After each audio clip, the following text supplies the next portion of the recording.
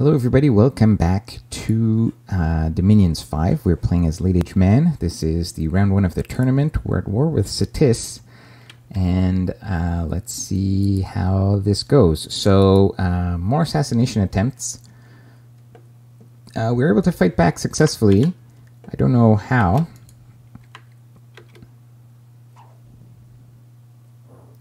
I don't know why he doesn't cast Swarm.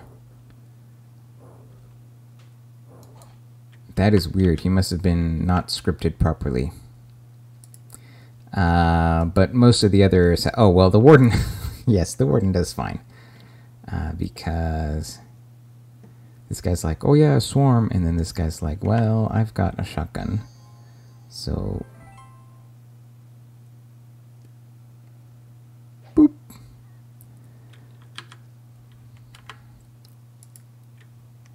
Uh, we lose a Magister here, which is really unfortunate. Um, we have a lot of commanders, so the odds of them attacking any one of our valuable mages is pretty low.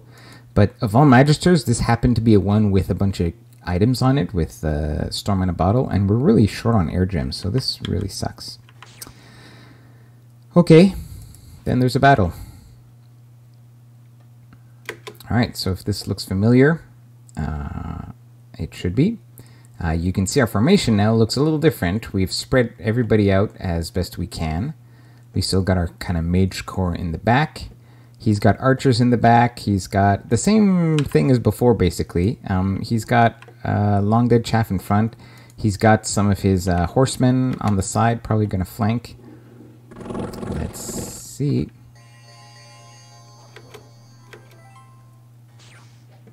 Uh, we have put up Storm.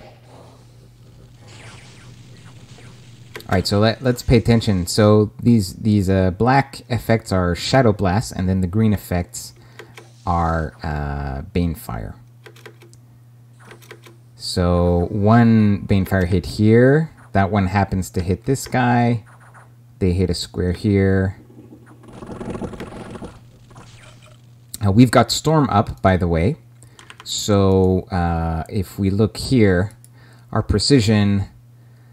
Uh, oh, and there's also darkness going up. So even with uh, all the even with all the debuffs going up with storm and darkness, we still have eight precision. And I don't know if wind guide has gone off. I think it has.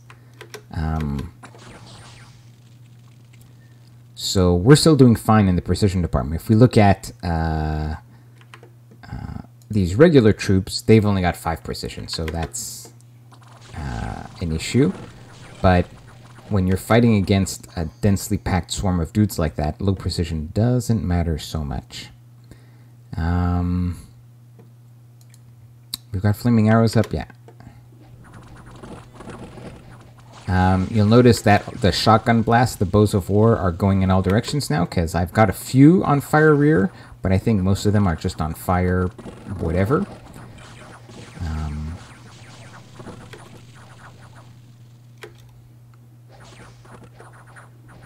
and so uh, these uh, horsemen have run into, you know, the part of my formation that was out here, have been successfully deflected. Uh, and now, after my buffing script, the rest of my communion is starting to uh, just do evocation spells. Uh, which include thunder strikes, lightning, gifts from heaven.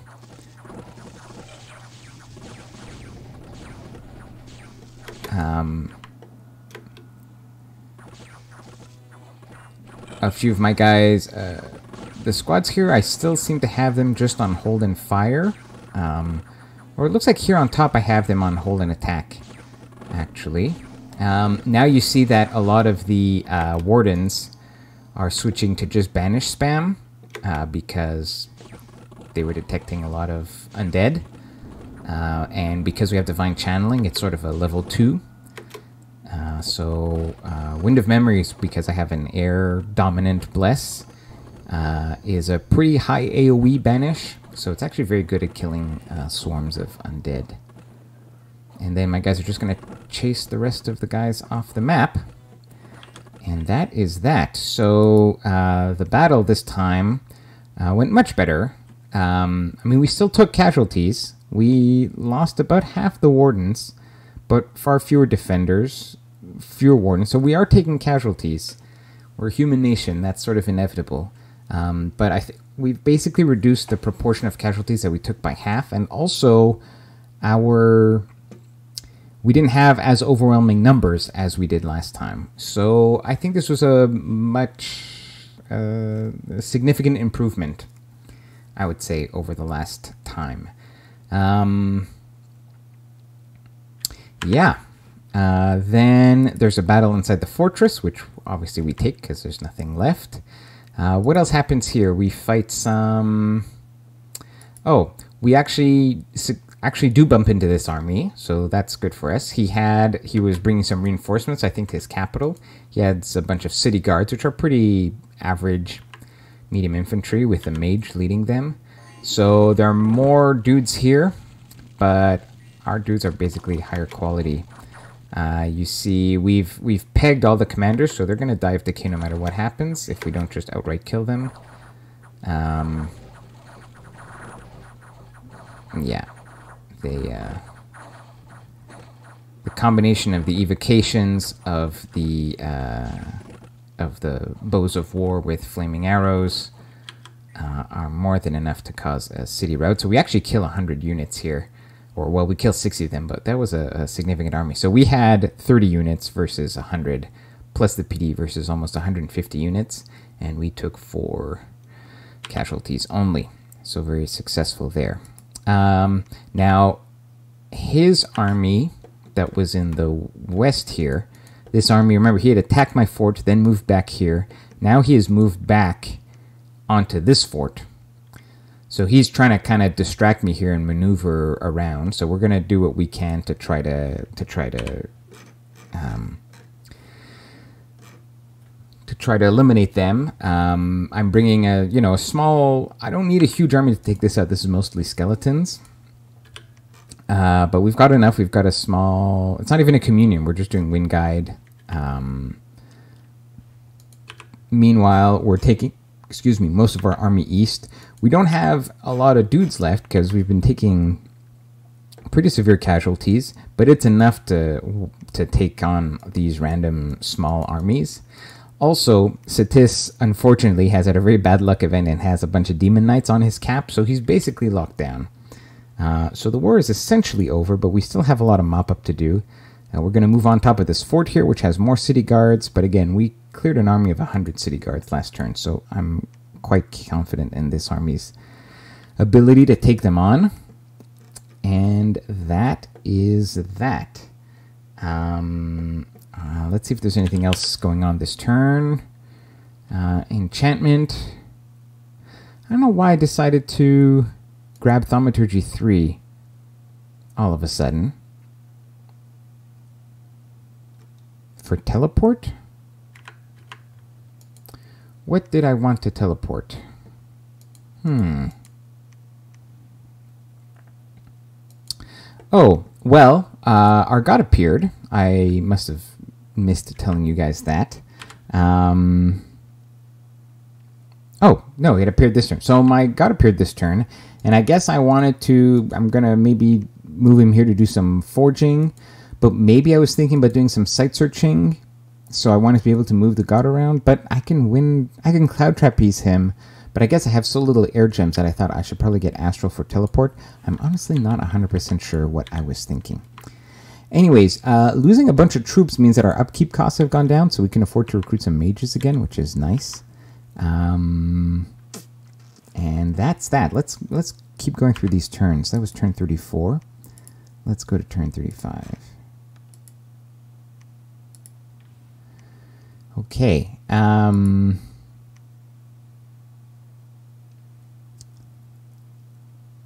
ah, so this army that he's been using to distract me is now making a beeline for my capital. Uh, and this was a small squad of reinforcements, so I only had a few wardens, uh, and unfortunately they get overrun. So that is quite annoying. Um, Ulm takes the throne and then is uh, bumped by Atlantis. So let's let's watch this just for fun. Um, there's actually a bit of a kind of diplo and politics going on here, so I'll fill you in on that in the meantime. So this is a big throne with a with a great mother with a ton of gems, uh, and Ulm has got a ton of dudes with morning stars, and then he's got a bunch of crossbowmen, and then a whole bunch of dudes doing evocations. So let's watch that. Yeah, these are like the iron darts, plus the crossbows. Uh, gifts from heaven. Yeah, just a lot of evocations. An excellent uh, choice, an excellent tool to deal with this kind of indie army composition. Um, and the wolves especially are great to send in front to die, but also to pin down the enemy as your big AOE evocations like gifts from heaven uh, hit. And then he doesn't even he doesn't he doesn't even need to fight the Great Mother. She just routes uh, from the HP loss. So very well executed by Ulm. Uh, unfortunately, he didn't talk to Atlantis, who thought, I'm going to go get this throne. Um, now, Atlantis didn't have as big an army. Uh, I think he is planning to do... Oh, obviously he's doing Stygian Rains. Uh, what else is he doing here?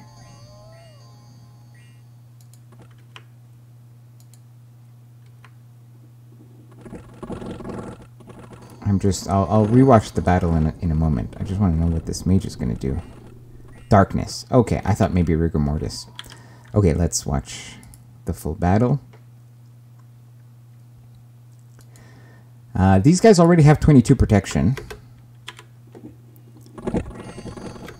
Uh, with uh, Stygian Rains up.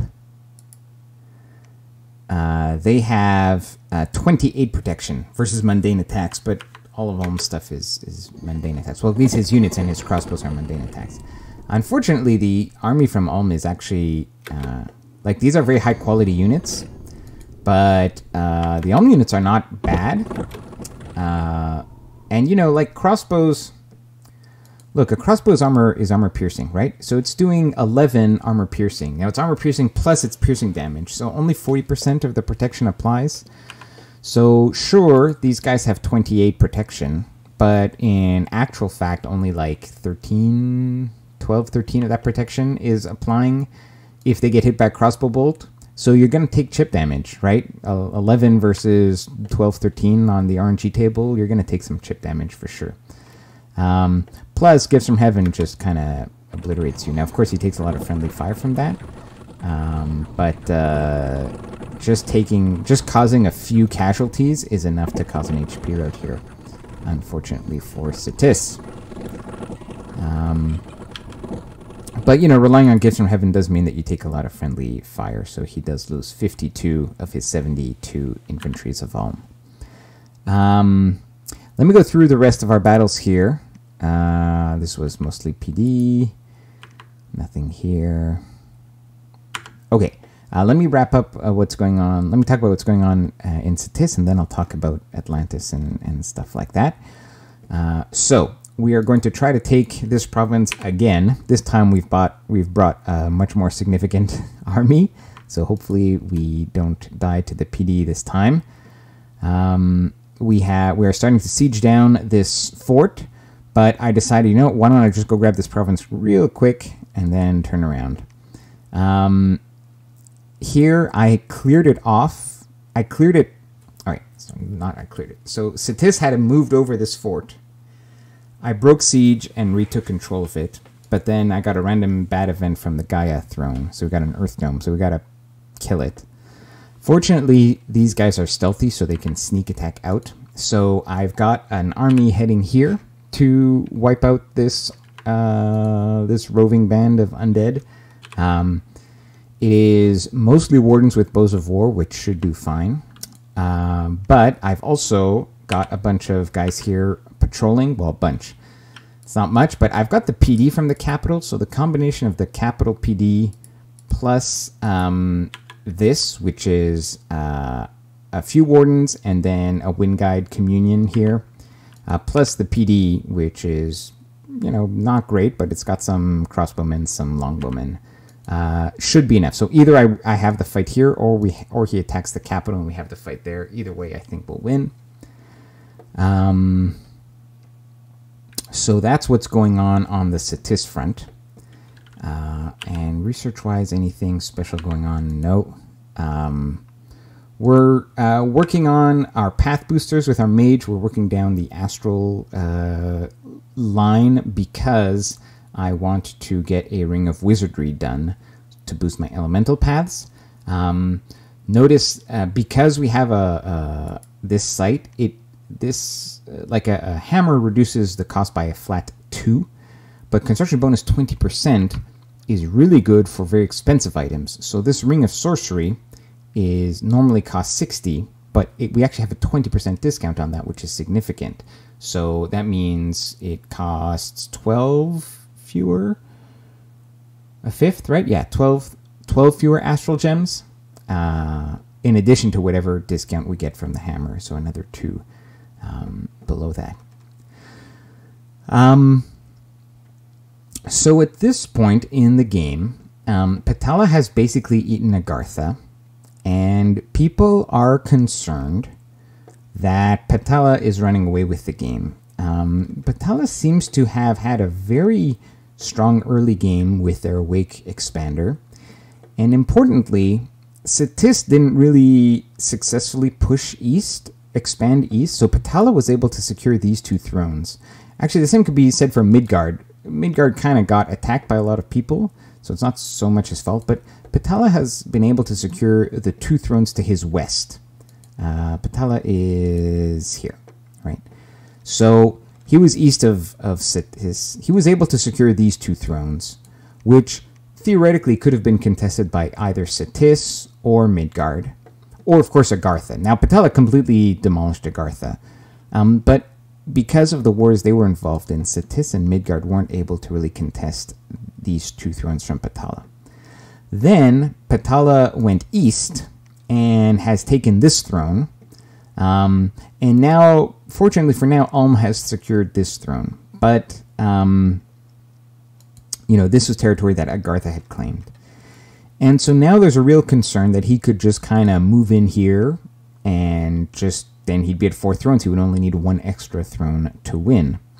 So there's been talk about a coalition forming against Patala. Uh, and in particular, um, and Atlantis uh, well, I'll, I'll, me, I guess I should leave it at that because I don't want to get too far ahead of myself. I'm recalling events from the past here, but um, people are starting to worry about Patala. Let's let's leave it at that for now. Um, now, you know, in terms of the the state of the game right now, we're kind of doing okay. Um, fortunately, you need five thrones to win the game to end the game.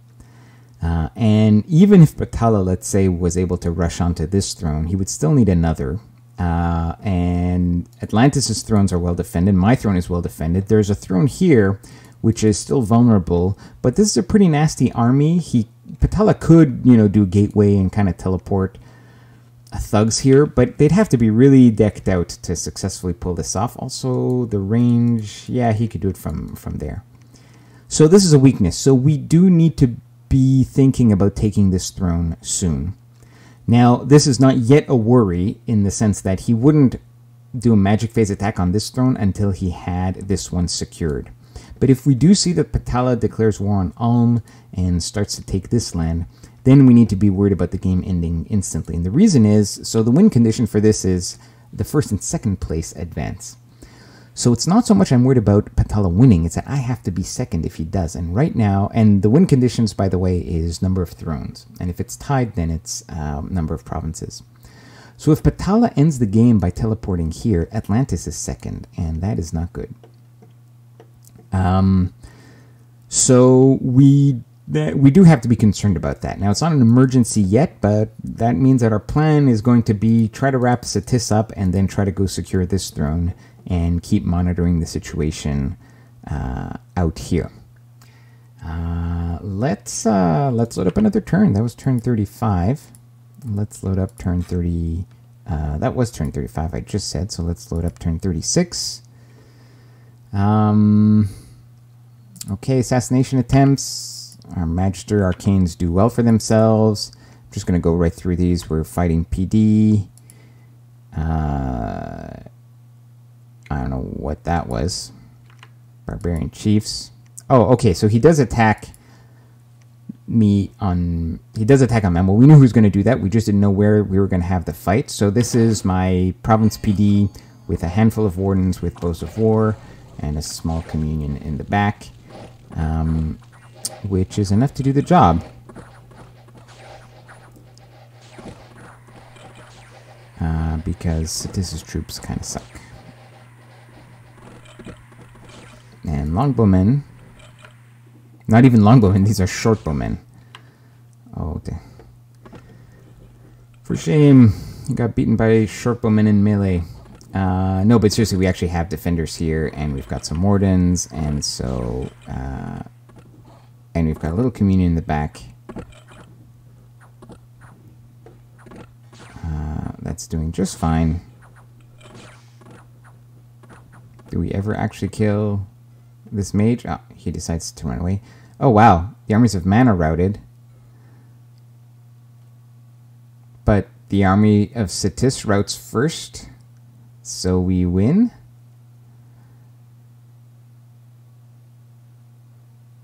Anyways, we win, guys. Uh, this is the uh, this is the province that we had failed to capture last time. This time we brought a lot more dudes. Uh, he still has all that PD, but this time this uh, big blob of heavy infantry is more than enough to deal with the blob of militia or light infantry, which is doesn't quite compare. So success. Uh, we are. This is just like we're taking land around C'tis itself. There's some mages here for some reason. Um, oh yeah, and then this this happens. So uh, Midgard decided he was going to take this uh, province back. Uh, unfortunately for him, I had moved in with my little sieging army. Uh, this is actually a scary army because of the bows of war and, and it's a little flaming arrows communion. So even though these are pretty nasty Einhars, uh, we actually just uh, kill the commander with fire rear. And so uh, these guys hadn't yet berserked, so they just uh, flee. And yeah, uh, so we kill his dudes. Uh, we take a few casualties, but we still have an army. Unexpected events, magic, province income, whatever, curses. Okay. Um, so I talk with uh, Midgard, and we I kind of decide it's okay, he can have this province. So I leave 0 PD in it and move back on top here to siege this down. Now I have taken, this is the army this is like the Mage Corps and the Commander Corps with a few veterans left over from the battle in Gulf Alas. They kind of went around this way. They're going to go down here and join this army here to siege down this fort. Um, I, C'tis is still locked down by these Demon Knights, so I don't really need to worry about sieging it down soon. I just want to kind of mop this stuff up. But I want to have a strong presence here to because to me this is important. It puts me in proximity of Patala's throne here, so I could intervene in case we had to delay, you know, Patala winning the game. Um, we, uh, oh, the mage fight earlier that I mentioned to that I mentioned must have been the retreating Sorum, uh, C'tis's retreating mages from this fight ended up here, and then we killed them with this army. So we're gonna take, we're gonna try to mop this up as best we can. We're gonna clean this up with some dudes. We're putting together a small army here to eventually clean up this militia force. Mm, pretty random, but hey, that's what he had, so that's what he's using. Um, and we're just going to prioritize uh, sieging down this fort. Um, we are now going up to Alteration 7, so we can do Fog Warriors and Mass Protection. Uh, and uh, that is our current priority.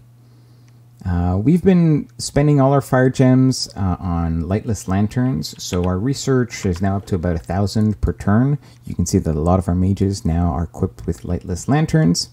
Um, we are also recruiting uh, shamblers because we happen to have shamblers in this province. Uh, and we're going to use those to go take these underwater provinces because nobody's taking them. And that's income that we could be getting uh, that we haven't gotten yet. So that is what is going on. I think we'll end the episode here and uh, I will resume in the next one. See you guys soon. Take care.